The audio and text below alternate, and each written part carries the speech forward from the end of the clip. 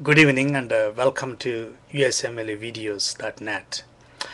Tonight I would like to give you a brief introduction to fetal alcohol syndrome and cage questionnaire. These two topics are very very important for USML examination and uh, you can be sure that you are going to face questions on this particular topic. As always, I encourage you to go to our website at www.usmlevideos.net and browse through videos we have posted on different topics. Imagine by just spending 10 minutes a day how much you can review and revise and learn during your preparation for this important examination. Tonight, let me give you a few points. First of all, let us discuss fetal alcohol syndrome. Fetal alcohol syndrome. What are the craniofacial abnormalities that it causes? Then, what are the neurological central nervous system abnormalities it causes? Then, what are the growth abnormalities it causes in the baby?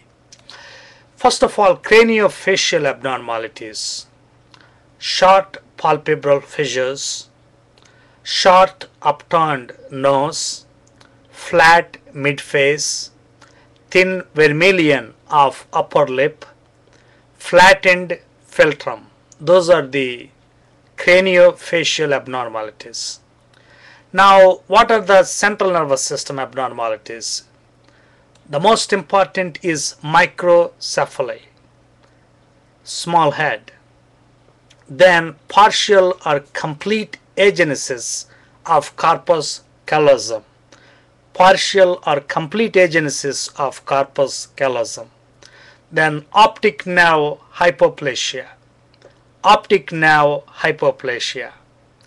Then hypotonia, less tone of the muscles then poor feeding and failure to thrive.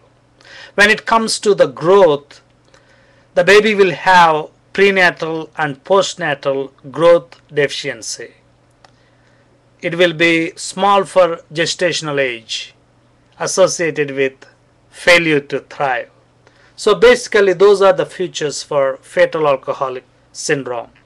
You need to remember the craniofacial features like short palpebral fissures, short upturned nose, flat midface, thin vermilion of upper, upper lip, flattened philtrum, prenatal and postnatal growth deficiency, small for gestational age, microcephaly, partial or complete agenesis of corpus callosum, optic nerve hypoplasia, hypotonia, and poor feeding.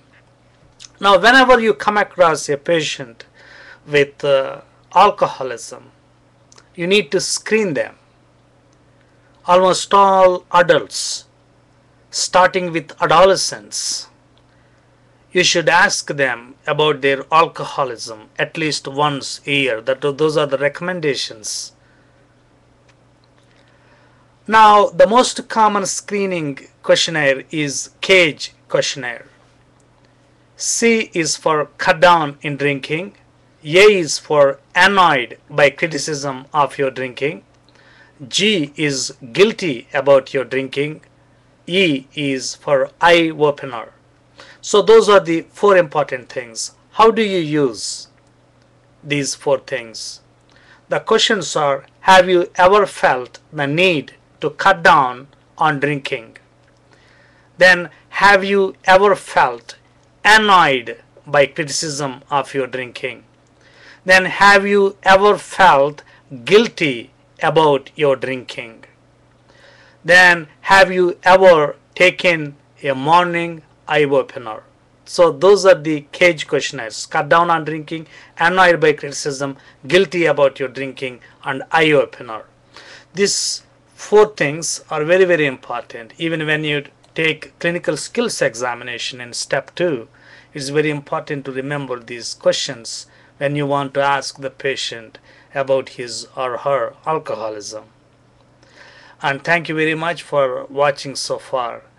And uh, please visit our website at www.usmlevideos.net Thank you. Have a good night.